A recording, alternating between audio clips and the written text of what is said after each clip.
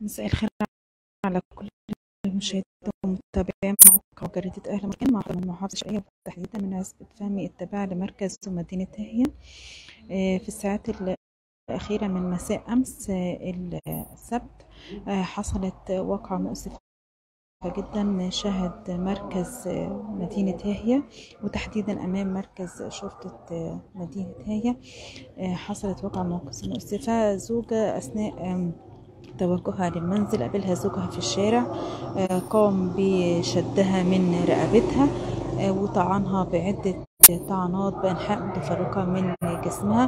طبعا في بائع حلويات كان واقف ساعتها في الشارع وقت الواقعة فقام بالتوجه للجاني أو القاتل. أثناء لما شاف طبعا الزوج بيعتدي على زوجته في الشارع فحاول طبعا إن هو الدفاع عنها وإن هو يخلصها من إيده لكن هو مش عرف طبعا الزوج طعن زوجته بعده طعنات لفظت على إسرها أنفاسها الاخيره في الحال. طبعا لما اتدخل بائع الحلويات اللي شاف الواقع قدامه الزوج قتله هو كمان بعده طعنات متفرقه طبعا تم نقل الجثتين من شرحة مستشفى هاهية واللي اتحولوا دلوقتي لمستشفى الأحرار لحين التصريح بدفن الجسامين. طبعا دلوقتي نيابة هي بتباشر التحقيق مع المتهم علشان بت آه زي ما قلت لحضراتكم دلوقتي نيابة هي بتباشر التحقيق دلوقتي مع المتهم ومع الأسرة علشان يعرفوا تفاصيل أكتر عن الواقعة والأسباب اللي أدت لكده. إحنا دلوقتي معانا والدة المجني عليها هتحكي لنا تفاصيل أكتر عن الواقعة وكمان الخلافات اللي كانت بينها وبين الزوج خليكي مرتاحة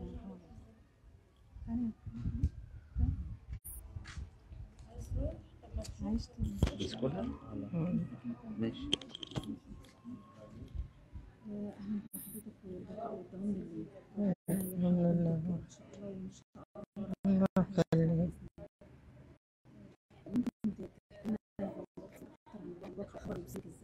الخبر وصل لي بالتليفون. واحد ولد صاحب ابني كان على الكوبري على كوبري البحر وسمع كده فراح على هناك واتصل علينا. فرحنا لقينا الدم مكان ما انكفت مكان ما خبطها ريح المضيافة بتاعة المركز.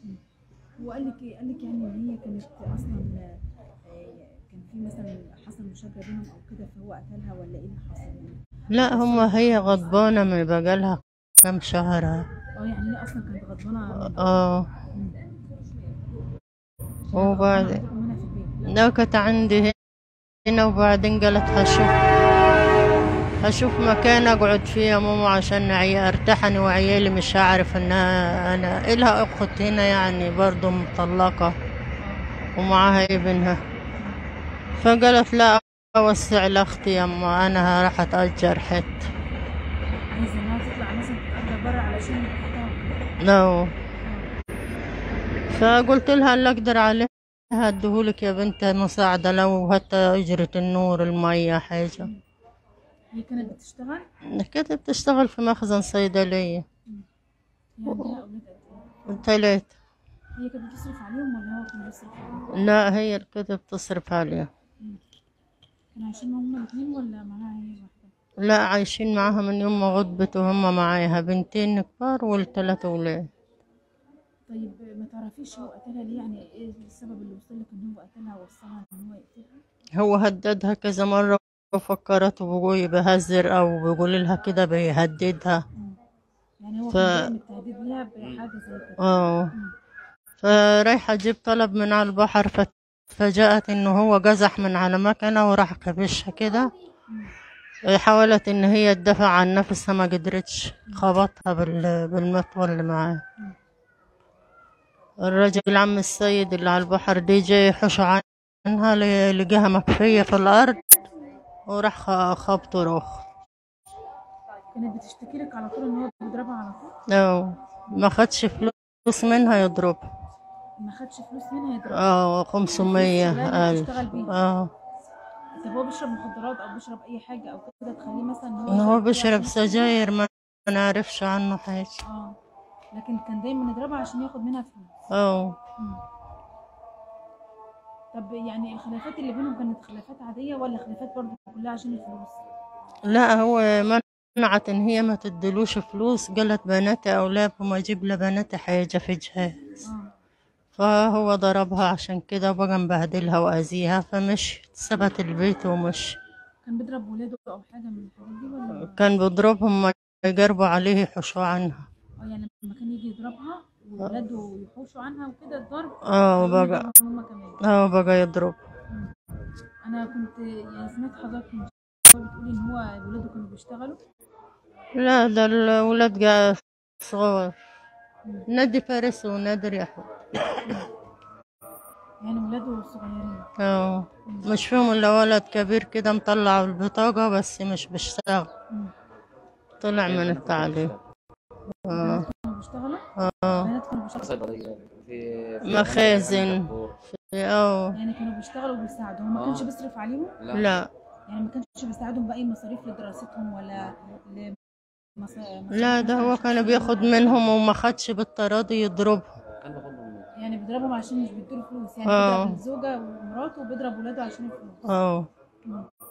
يعني بخر ما شغلهم في زبالة بقوا يلموا يسيبوا خردة الزبالة آه ويلموا الزبالة مؤاخذة يبيعوا ويبيعها وياخدوا فلوس مم.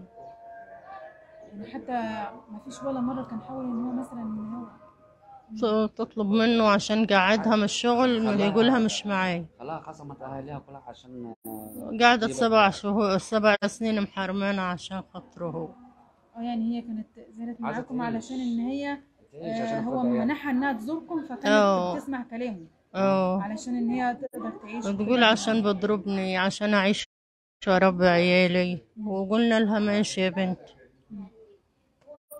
طب آخر مرة شفتها إمتى أو اتكلمت معاك قالت لك إيه؟ آخر مرة كانت معايا الساعة تسعة بالليل وقالت لي يا ماما أنا جاية أشوف بنت أختي وأقعد معاكوا حبة قلت لها أقعد يوم كانت شكلك منه قبل الواقعة أو حاجة؟ قالت شتمني وأنا معدية من على المحطة وهو قاعد. يعني هي غضبانة عندكم وبرضه كل ما بيشوفها آه بيشتمها كل ما يعتر حاجة. فيها في مكان يشتمها ويضرب. بجد كذا مرة مش مش حطت في مخها قالت يمكن هو بهددني بس. زي كل مرة ما بيهدد آه.